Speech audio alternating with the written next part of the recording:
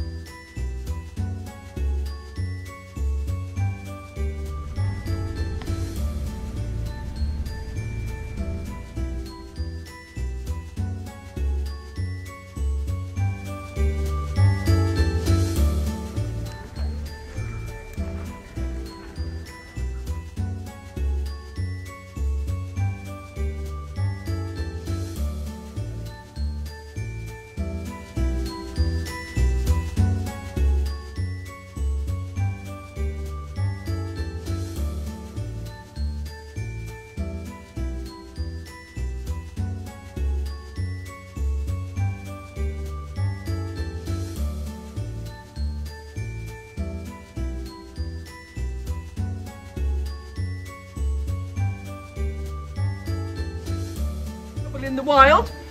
So they're here as ambassadors for the polar bears in the wild, so you can learn a bit about them and learn about their situation in the wild.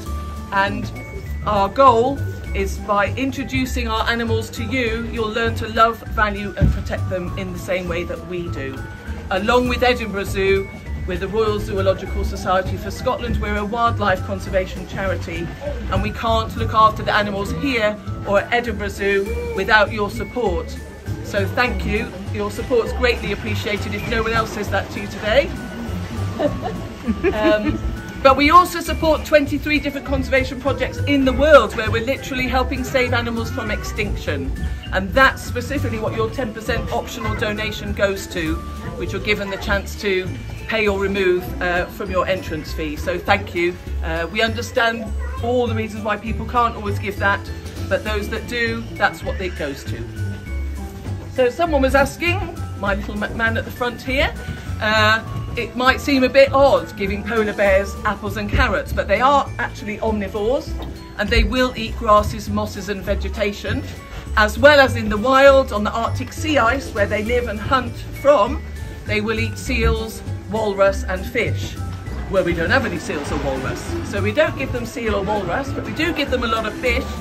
Uh, the one on this side here with her bottom to us, that's Victoria. She's our adult female polar bear and she turned 26 last December.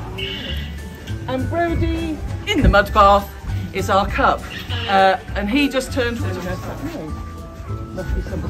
Um, he turned one in December and he's our second polar bear cub born here at Highland Wildlife Park.